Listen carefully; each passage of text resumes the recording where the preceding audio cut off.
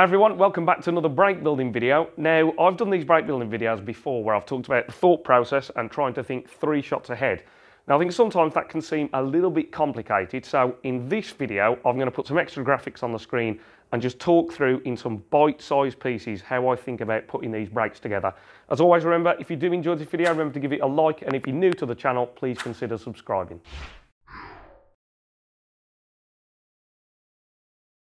Right, so we're going to have a look at this video here, and this was actually a century break that I compiled. So this should give you really good insight into the strategy and the thinking involved in building these big breaks. Now, there's going to be some graphics that are going to come up on the screen, so we're going to see shots one, two, and three, and feel free to pause the video at any point if the video is going a little bit quickly and you want to look at exactly the plan that I'm mapping out. So we'll go through this and we'll very quickly see that what players are doing is they make a plan. So I'm picking, right, shot number one, Shot two is the shot on the black and shot three is the shot on the red. Now we'll very quickly see that that helps us to decide on shot number two, the important one, what angle do I need on shot number two so that I can get to shot number three. And that's what players mostly aren't doing when you watch players in clubs. So this is going to be very important. The strategy now starts again. Shot one, two, and then three is the black again. So that helps me decide that I'll pop this black. On shot number two, I need a little angle on the red so that I can get back to the black ball again. That's what's very important. So potted the black there, left a little angle, and then I can, can get back to the black, which is that shot number three. Now it repeats again. Let's have a look. So we've got shot number one, two is the shot on the black, and then the third shot is going to be one of the reds in the pack or that loose one because I'm going to go into the pack of reds. Again, by deciding on going into the pack of reds, it's helped me to decide that I need an angle on shot number two, which is the one on the black, then I can get into the pack. But you can see that this process repeats every single time you come to the table. Shot number one, shot number two could be one of those reds there because I'm going into the pack. And in this situation, if I just pause the video, it's actually difficult here to um, pick that shot number three because I'm relying on a little bit of luck here. I'm hoping to be on that loose one or maybe one in the pack, but I can't pick the perfect angle on that red to then know exactly which colour I'm going to play for next. So if we resume the video, sometimes the, the third shot, you have to be allowing yourself a little bit of freedom because we don't know exactly where the white's going to land. But there, I've got a nice shot on the red that I wanted to be on, and now I can start making this plan again. So, round behind the shot, I'm going to play that red, then the black, and then the red below the black, so shot number three. That helps me decide shot number two, which is the one on the black, I have to leave that angle so that I can get to the one that's below the black. So potting this red off the cushion and then I've left a nice angle so that I can get to that loose red. Now here I'm just coming around the table, just having a little look there at what goes. It's always good as you're building these breaks to just see what passes and what reds are available and into where. But here we go. So the plan, red, uh, so black, sorry, red, and then back to the black again. So that's the little plan. That means I know I need an angle on that red that's below the black, and then I can get back to the black again. So I'm potting this black, trying to leave myself a little angle and then I can get to the black. Now I've left myself a little bit straighter actually than I wanted to, so let's have a look at the plan. So I'm not too bad here.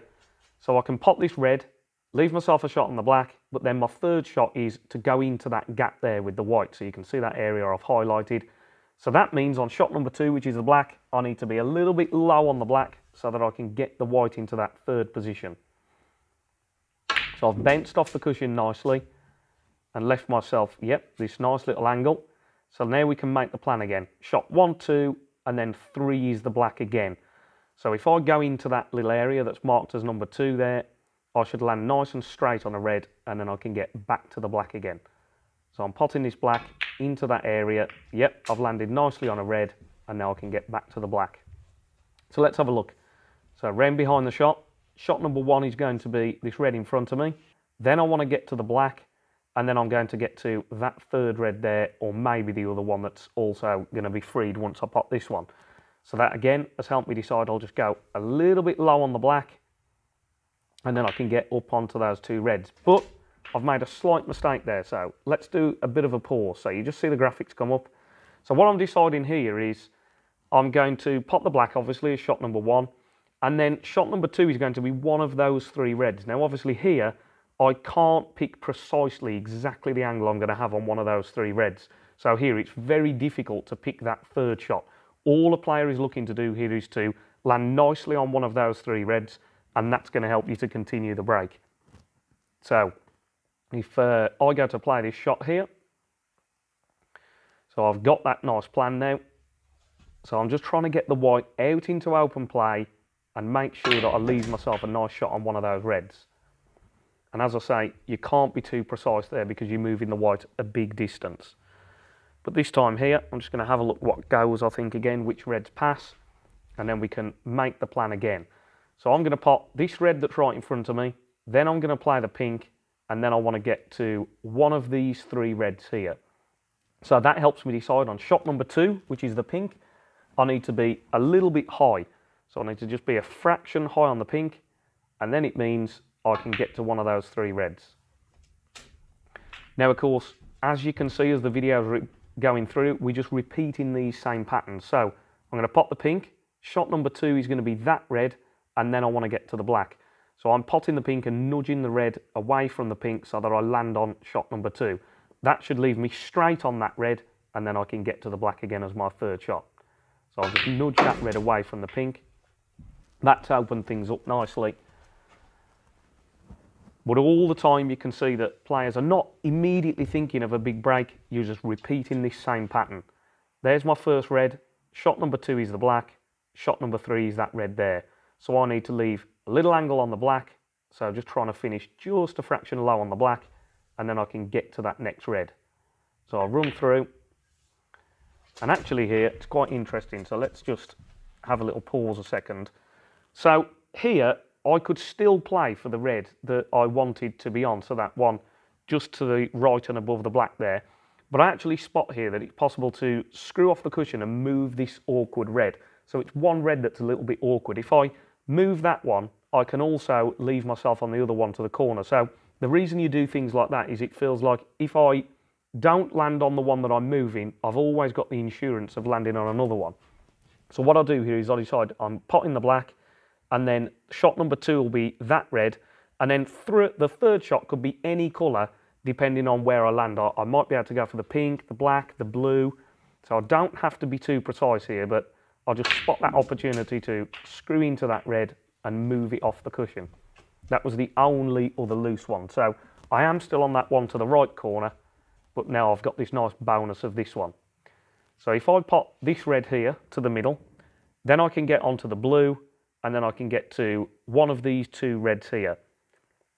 So again, that means I need to be just top side of the blue. So I'm going to need a bit of right hand side actually on this to get the correct angle.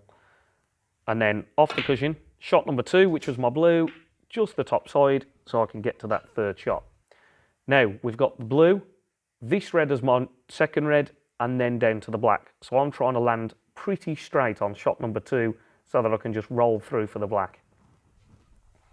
So all that plan is decided, and then you've just got to concentrate on potting that blue and get yourself down into that area.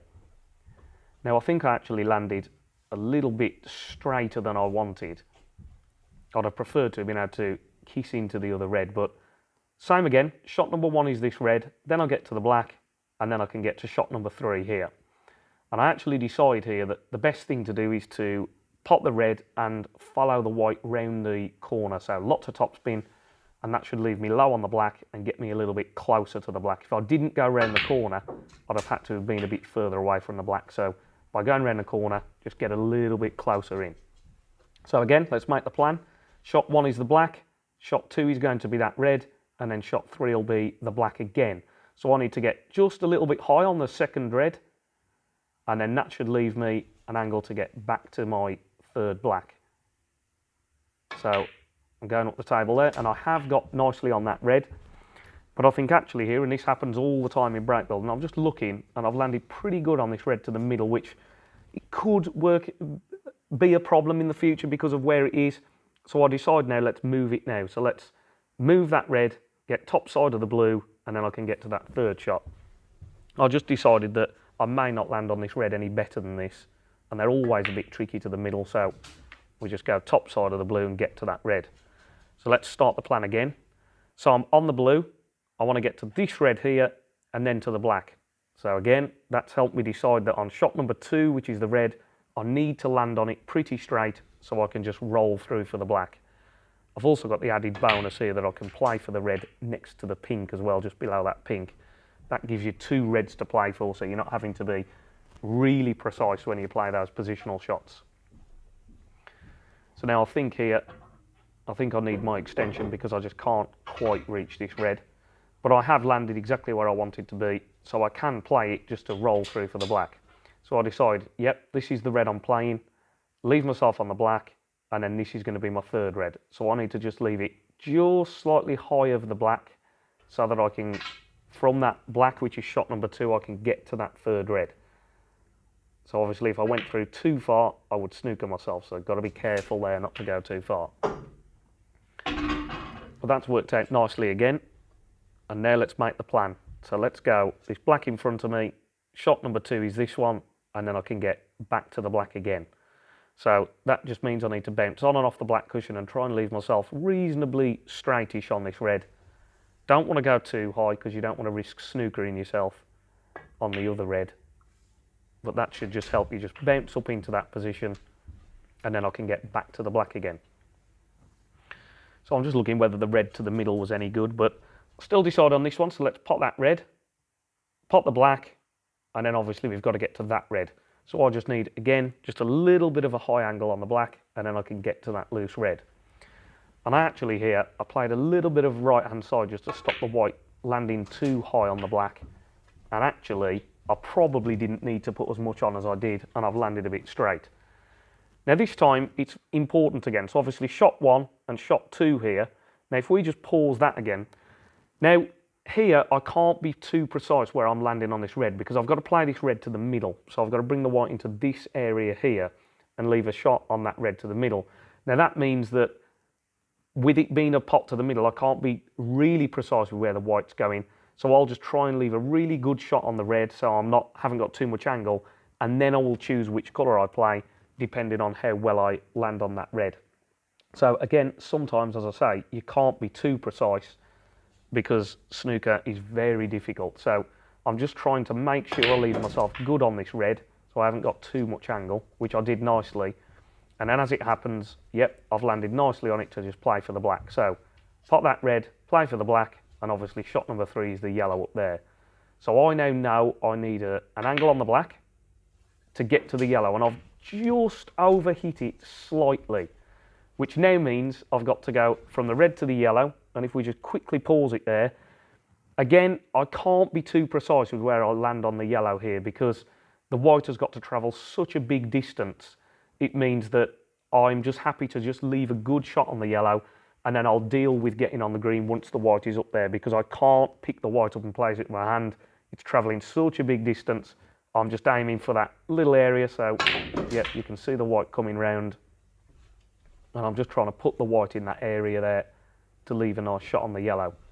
Now, obviously, now we've got shots one, two, and three. So you've got to leave an angle on the green to get to the brown, which is shot number three. So, of course, now it becomes a bit easier for players because the balls are almost labelled for you.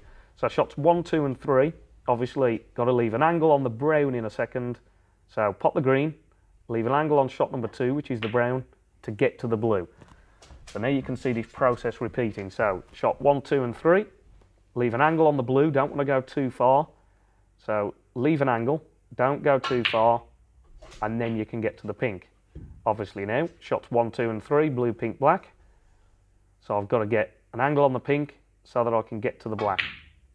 And this actually comes up just a little bit too short. So I'll play, obviously now we've only got two shots, bit of right hand side here to send the white back across, stop it from running away too far, up the table away from me, and that leaves a nice shot on the black. Obviously now, just drop the black in, nothing to do positionally, but hopefully a great insight there into that plan that we're making as players on every shot. So as I always say, I really hope you found this video useful. Hopefully now you can see the way I'm always splitting the break into thinking those three shots ahead. Whenever I get to a new shot, I start that process again, and then hopefully that makes it nice and clear in your mind now how a player puts those bigger breaks together. As always, if you did enjoy this video, please remember to give the video a like. If you're new to the channel and you haven't subscribed, please consider subscribing. That just really helps me to keep all these videos coming. If anyone's interested in any personal one-to-one -one training sessions, I'm working on this very table, helping players to improve their game all the time. I'm doing things like I've done just in this video here, where I'm talking about break building and shot selection. You'll be on the table and we'll be discussing what balls to play, how to play position, what spin to put on the cue ball, so if anyone's interested in that, please get in touch with me and I'd love to help you with your game. And as always, I'll catch you in the next one. Cheers.